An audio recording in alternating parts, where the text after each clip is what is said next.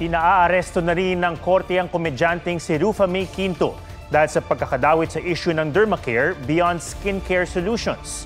Naunang nadawit siya ng aktres na si Neri Naig Miranda na nasa ospital pa rin kaya posibleng hindi makasipot sa pagdinig ng kanyang kaso bukas. May report si Mav Gonzalez. Ang actress-comedian na si Rufa May Quinto, isa sa mga brand endorser ng Dermacare Beyond Skincare Solutions. At ngayong nahaharap sa mga reklamo dahil sa Dermacare, ang endorser din itong si Neri Naig Miranda, pati si Rufa May, hinahabol din. She's facing um, 14 counts of um, yung violation ng Section 8 of the Securities Regulation Code. available No. Yes po, available.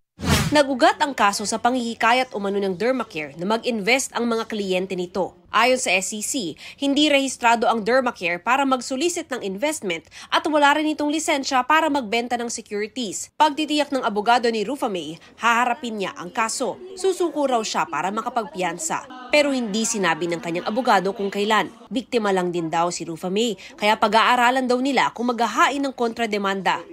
Worried kasi nga uh, hindi naman totoo yung mga allegation sa kanya. Hindi, hindi sa kanya nakapagbayad ng down payment. Tapos yung mga check 1984 is puro din tumalbog.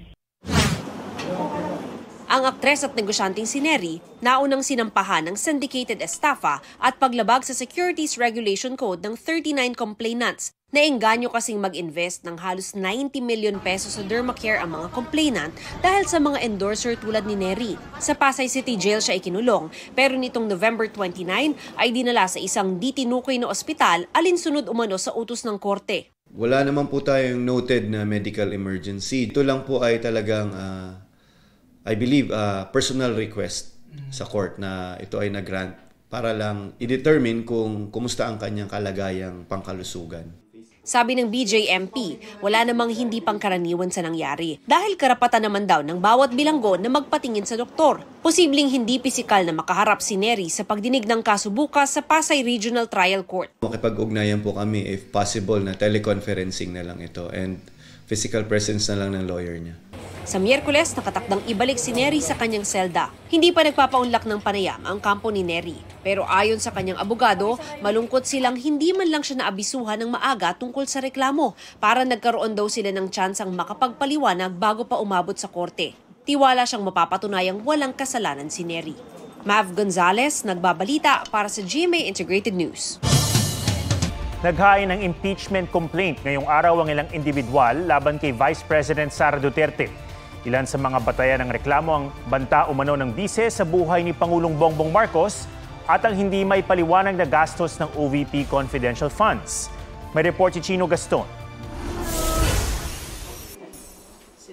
Pirmado ng labing-anim na individual ang impeachment complaint laban kay Vice President Sara Duterte. Kabilang sa kanila ang mga kaanak ng ilang napaslang sa Duterte drug war, running priest na si Father Robert Reyes at ang apo ni dating Senador Ninoy Aquino. Nagsilbing tagapagsalita ng mga naghain ng reklamo si dating Senador Laila de Lima. Ang inihaing grounds for impeachment, culpable violation of the Constitution, graft and corruption, bribery, betrayal of the public trust at iba pang high crimes. 24 ang articles of impeachment. Articles po are the misuse, the failure to account, the intel and confidential funds of both the uh, Office of the Vice President and also of the uh, De- uh, De- Department of Education. Yung kanyang mga threats, yung kanyang mga rants, her involvement also in the extrajudicial killings during her term as mayor of uh, Davao City. Nauna nang sinabi ni Pangulong Marcos na aksaya lang sa oras ang pagsusulong ng impeachment kay Duterte. Pero para kay Akbayan Party List Representative Percy Sendanya na nag-endorso ng impeachment complaint, Mahalaga po itong, mahal, itong impeachment complaint na ito para simulan na yung totoo na step process towards holding the Vice President accountable. kailangang ma-refer ang complaint sa plenaryo para ma-endorso sa Committee on Justice. Ang komite ang magdidesisyon kung sufficient in form and substance ang complaint. Yun nga lang, sa December 21 na ang last day ng session bago mag-Christmas break. We have 10 days to act on it. 10 session days. So, pag pinail ngayon, kulang na. Titingnan din ng legal staff ko, no? Kung may laman talaga. Nandun yung betrayal, public trust, mga ganyan. Yung mga basis for impeachment. Naniniwala si Sendanya na hindi hadlang sa paggulong ng impeachment ang limitadong panahon. Paglilinaw ng isang kongresista, walang kinalaman sa impeachment complaint ang magkahiwalay na investigasyon ng Kamara sa Duterte drug war at sa fund utilization ng OVP at DepEd. There are people who would uh, have that opinion na yung lumalabas dito sa mga hearings ito would be a ground. That would be a separate thing. Sinusubukan pa naming kunan ng pahayag ang kampo ni Duterte na pinadalhan naman ng panibagong sampina ng NBI kaninang hapon. Kaugnayan ng investigasyon sa pagbabanta ng bise sa Pangulo, First Lady at House Speaker. Iniurong sa December 11 ang investigasyon na nakatakda sana noong biyernes matapos hindi sumipot ang bise. Sinabi rin ng NBI na hindi ito magbibigay ng advance question sa bise kaugnay ng isasagawang investigasyon. Chino Gaston nagbabalita para sa GMA Integrated News. Nang haras na naman ng China sa mga mangingisdang Pinoy sa West Philippine Sea kahit pa masama ang panahon. Nilapitan ng helicopter ng China ang mga Pilipino mangingisda sa Rosul Reef o Iroquois Reef na nasa loob ng ating exclusive economic zone. Dalawang linggo na ang naroon ng mga mangingisda. Inabutan sila ng ulan at malalakas na alon at dalawa sa dalawampung bangka nila ang lumubog. Pero hindi sumaklolo ang mga Chino at sa halip, sinilaw sila at binantaang bobombahin ng tubig. Maging ang pagabot ng tulong ng ating Coast Guard ilang ulit na hinarang at binuntutan ng China Coast Guard. Ilang beses din silang nag-radio challenge. Sa kabila niyan ng, at ng pagaligid ng mga Chinese vessel, nasagip ang mga mangingisda at inabutan ng PCG ng kaunting tulong at food packs bilang pamasko. Didepensahan naman ng Chinese Foreign Ministry ang ginawa ng China Coast Guard. Legitimate at lawful daw ang ginagawa nitong pagbabantay dahil may soberanya ang China sa Spratly Islands na tinatawag nitong Nansha Kundao. Bumabangon pa lang ang Bicol sa mga nagdaang bagyo muli ng inulan ng rehiyon dahil naman sa shear line. Nagdulutin niya ng pagbaha at pagguho ng lupa sa ilang lugar ng bansa. May report si Marizo Mali. Bumaha sa ilang bahagi ng kasiguran Sorsogon resulta ng malalakas na ulan. Lampas tao ang tubig sa isang barangay. Halos umabot sa tuktok ng matataas na puno. Sa isa pang barangay, abot binting baha ang pumasok sa mga bahay. Sa bilis naman ng pagtaas ng tubig sa isang barangay sa Sorsogon City, inilikas ang mahigit 200 residente. Muntik na ring abutin ng ilog ang mga bahay sa ibang barangay. Salbay ilang individual na natrap sa rumaragasang ilog ang sinagip ng mga rescuer. Sa Vinzons, Camarines Norte, nag-rubber boat ang mga rescuer para sagipin ang mahigit apat na pong residente mula sa abot dibdib na baha. Kabi-kabila naman ang pagguho lupa sa bayan ng Labo. Isang bahay ang natabunan, nasawi ang lalaki nakatira roon, sugatan ang kanyang asawa. Sa Ragay, Camarines Sur, natagpo ang patay ang isang lalaki na nahulog sa tulay ng tren at tinangay ng baha nung Sabado. May dalawa namang nawawala sa bayan ng Kabusaw. Sa Catanduanes, bumara sa isang kalsada ang lupa at bato. Sa tala ng Office of Civil Defense, mahigit 200 pamilya sa Bicol ang kinailangang ilikas. Sa Aklan, kambal na perwisyo mga landslide at pagbaha. Sa kasagsagan naman ng ulan sa Cebu City, bumigay ang isang riprap at gumuho sa isang bahay. Nadagana ng pader ang ginang sa loob. Namatay siya habang sinasagip. Ang kanyang mister na isugod sa ospital. Ayon sa pag-asa, shear line ang nagpaulan sa ilang bahagi ng Southern Luzon at Visayas.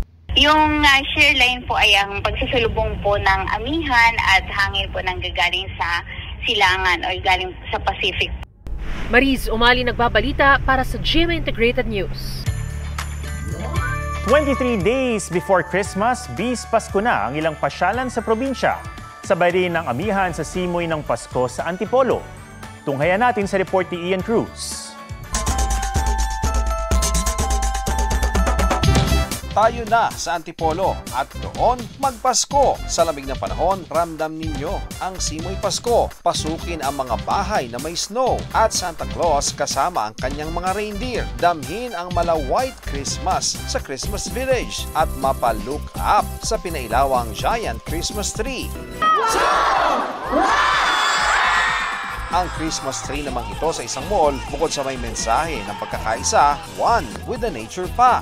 Sa Paway, Ilocos Norte naman, tila simbang gabi na sa UNESCO World Heritage Site na St. Augustine Church. Nagsimula na kasi ang taon ng Narimat a Pascua, Joyful Symphony of Lights na inspired ng Aurora Borealis. Two, sa Kapitolyo ng Pangasinan, may Candyland at Disney Princess-inspired na Christmas Village. Tampok din ang mga bilen at giant white Christmas tree. Ian Cruz nagbabalita para sa GMA Integrated News. Sparkling with a win, si Nakirai Celis at Kim Ji-soo sa Imawa Ima Asian International Film Festival and Entertainment Special Awards 2024. Sa IG, nagpaabot ng pasasalamat si Jisoo na kinilalang outstanding international actor in a cross-cultural series para sa kanyang pagganap sa abot kamay na pangarap. Thankful din si Kiray for her best performance in a comedy award para sa pelikulang Malditas in Maldives. One proud GF si Barbie Forteza sa mga achievement ni Jack Roberto. Isa na riyan ang patapos ng dream house ni birthday boy Jack. Gabi Garcia naging emotional sa glowing bouquet na birthday surprise ng boyfriend na si Khalil Ramos. Aso ni V ng BTS na si Yontan, pumanaw. Dati nang sinabi ni V na may sakit sa puso si Yontan. Lar Santiago nagbabalita para sa GMA Integrated News.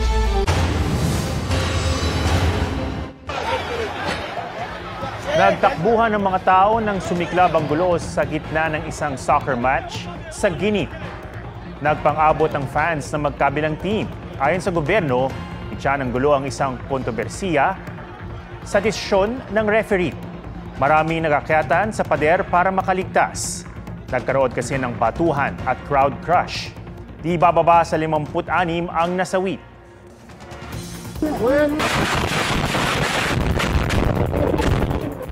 Binulabog naman ng pagsabog ang mataong kalsadang yan sa Aleppo, Syria. Nangyari yan matapos kubkubin ng mga rebelde ang mga lungsod ng Aleppo at Idlib nitong weekend. Binomba naman sila ng Syrian government at kaalyadong Russia. Ayon sa isang Syrian Rescue Organization, pito na ang nasawi sa Idlib. Lima sa kanila, mga bata. Napahamak ang ilang taga Datu Blas Hinsuat, Maguindanao del Norte dahil sa kinain nilang pawikan. Tatlo ang nasawi at 32 ang naospital matapos hihinalang malason. Nakarano sila ng pagsusuka, pananakit ng tiyan at pagkahilo. Ayon sa Provincial Health Office, dumalo sa salo-salo ang mga biktima kung saan ang handa ay iba't ibang putahe ng nabiling pawikan. Patuloy ang investigasyon. Pero ayon sa mga otoridad, itinuturing ng endangered ang mga pawikan at ipinagbabawal ang paghuli sa mga ito sa ilalim ng batas. Huwag magpahuli sa mga balitang dapat niyong malaman. Mag-subscribe na sa GMA Integrated News sa YouTube.